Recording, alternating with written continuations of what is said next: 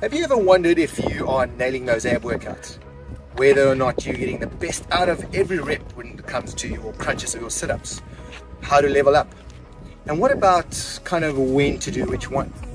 Well, then join us as we break down the basics of these classic core exercises, uncovering why relying on support could hinder your progress, and how by emphasizing time under tension, or tempo, you not only maximize the effectiveness of each repetition, but also optimize your overall workout results.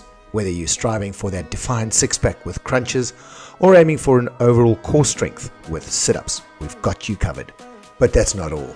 So stay tuned up until the end because we've got a couple of tricks up our sleeves that will skyrocket your ab gains. So say goodbye to those sneaky muscles trying to steal the spotlight, and let's dive in and transform your ab workouts.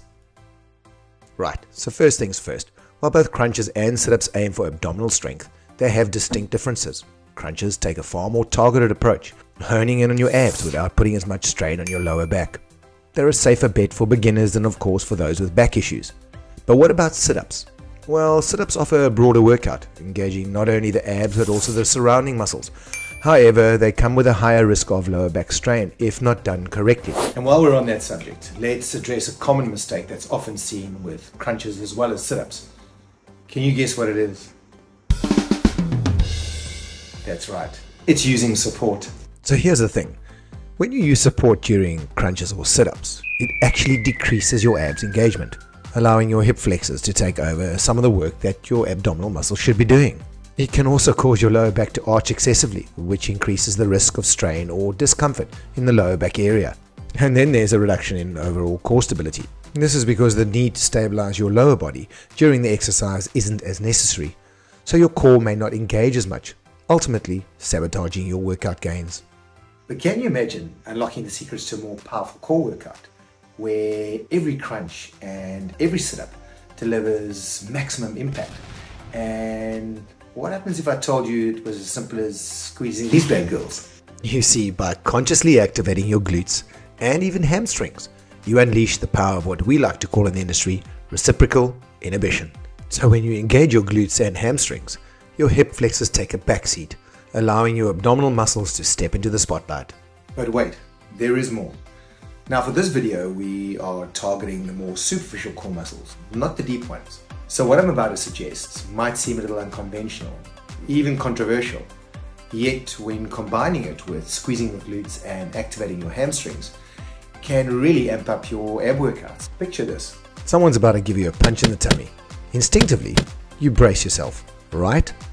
Now add that to a forceful exhale while squeezing your glutes and contracting your hamstrings cheering your abdominal contractions. What happens next?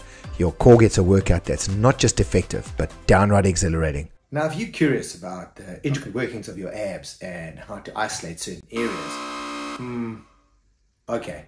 So we're about to bust that myth in this wristwatch video. So it's definitely worth a look-see. Um, just putting it out there. All right, uh, where were we?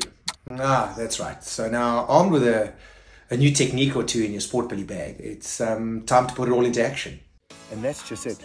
Action is the key word here when it comes to getting the most out of every rep.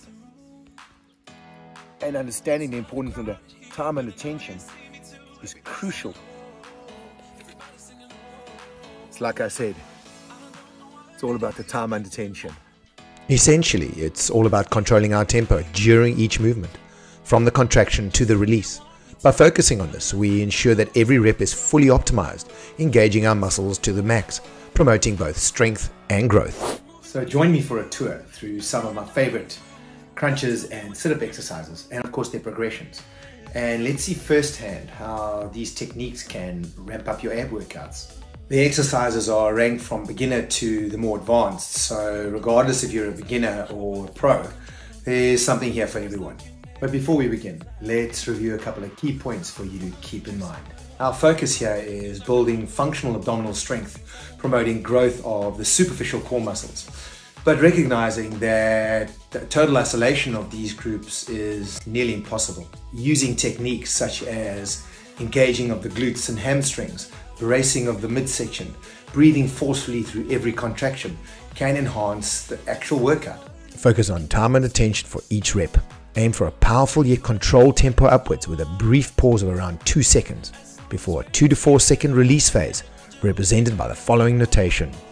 Aim to reach failure within the moderate to high rep range of 8 to 15 reps per set, adjusting low reps between 6 to 10 for hypertrophy and strength, and higher reps 12 to 15 for endurance, based on your own specific goals. And complete between 2 to 4 sets depending on your fitness or progression level. And remember, these principles apply to most progressions unless otherwise indicated. Now, before we jump into our air blasting progressions, let's talk about something super important for beginners. That's right, supporting those neck muscles. When we give our necks the right support, we're not just avoiding any strain or injury to those muscles, we're also making sure all our focus goes into engaging those abs, with zero risks of tugging on the neck. Oh, and remember, keep that neck support going until you feel absolutely no discomfort, or until your neck is strong enough to go solo comfortably. Okay, let's start with the foundational ab crunch progression. It involves engaging the hamstrings, in this case, digging the heels into the ground slightly, squeezing the glutes, bracing the midsection, and exhaling vigorously during the contraction. Aim for a quick yet controlled tempo upwards while holding briefly before a 2 to 4 second release phase. Now in the second of our progressions we have the integration of the TheraBand to activate the hamstrings. But all the same principles apply. Now this is where it gets interesting, and our next progression split into two groups based on your specific goals. On the left, we have the strength and growth focus progressions. Here we'll aim for failure between 6 to 10 reps, targeting those superficial core muscles for maximum strength and growth. On the right, we have the endurance-based progressions. These ones focus a bit more on endurance, with failure between 12 to 15 reps. You'll also engage those deeper core muscles for added stability. But just a heads up, as we explore some of my favorite ab progressions, it's important to remember that there's a wide range of exercises available that will target your abs in many different ways. But sticking to the fundamental principles is key to get the optimum results. Additionally, don't feel restricted by the classification of the exercises being strength or endurance focused. The ones on the left aren't solely for strength, and the ones on the right aren't only there for endurance. So feel free to experiment with the different rep ranges and mix it up based on your personal goals. Right, it's time for our sit up progressions. And first up is our half sit up. It's a great option for beginners as it provides a less intense variation of the sit up exercise while still engaging the abdominal muscles effectively. Remember, all the same principles apply here. Focus on proper form, controlled movement, and bracing of the superficial core muscles. If you're having difficulty engaging your hamstrings during the movement, you can use a resistance band looped around the back of your knees to provide additional assistance. Now that we've mastered the half sit up, let's take it up a notch to the full sit up. This progression challenges your core muscles even further by requiring complete recruitment from lying flat on your back to sitting up all the way.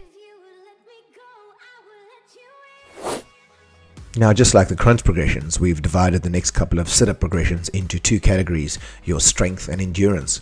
The strength focus variations will challenge your core with fewer reps and more resistance, while the endurance focused variations will help build stamina with higher reps and less resistance.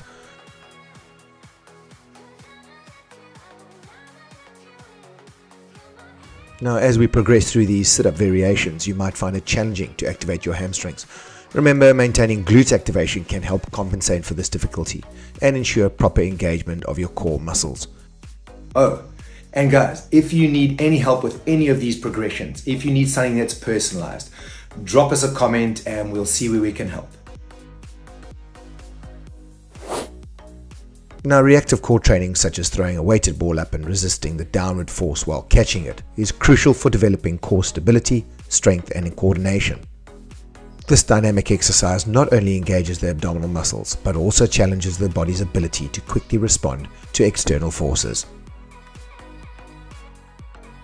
Now, before we wrap up, it's essential to acknowledge the importance of balance when it comes to our core training. And while here we've been focusing on techniques like bracing to target the superficial core muscles, it's equally important to target and use techniques like the drawing in maneuver to focus more on the deeper core muscles. But you can get some more insight into that by watching this video. Remember, overtraining the superficial core muscles without activating the deeper core muscles can lead to imbalances and of course injury.